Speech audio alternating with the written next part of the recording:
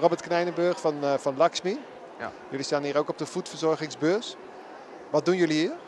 Uh, wij proberen mensen te overtuigen van de kracht van uh, onze producten. Ja. Wij importeren schoonheidsproducten uit Italië. Ja. Volgens de Ayurvedische basis. Daar Ja. gaat men uit van drie dosha's. Vata, Pitta en Kapha. Ja. Uh, deze dosha's kunnen uit balans raken en dat uitzicht dan in de voeten, in de, in de huid, et cetera. Ja. Bij ons proberen we de problemen wat dieper aan te pakken dan alleen de huidverzorging, omdat Ja. huid slechts een onderdeel is van het hele lichaam. En we proberen ook de innerlijke oorzaak daarmee eh, te verhelpen. En dat doe je met... Dit zijn de crèmes voor de voeten. Ja. Dit is Vata voetverzorging. Ja. Dat eh, is voor wat droge voeten met eh, ja, schilfers, et cetera. Mhm. De Pitta voetverzorging. Ja. Dat is voor rode voeten met ontstekingen, et cetera, en zweetvoeten. Ja. Verder hebben wij de Kapha voetverzorging. Ja. Dat is voor de gezwollen voeten, Ja. om de bloedsdoorloop eh, te stimuleren.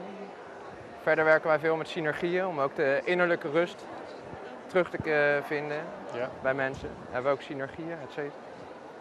Dus Dit zijn dan de bijbehorende synergieën, om toch een, eh, Ja. wat dieper te gaan dan alleen de huidverzorging. Oké. We werken dus volgens Ayurvedisch concept.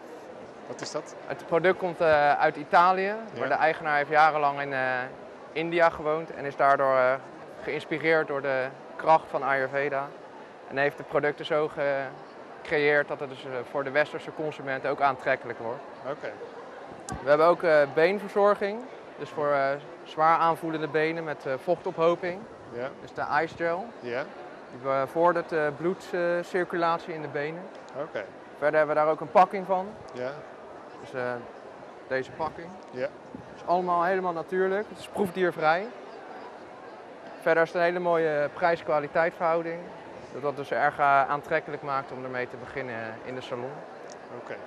Goed. Dankjewel.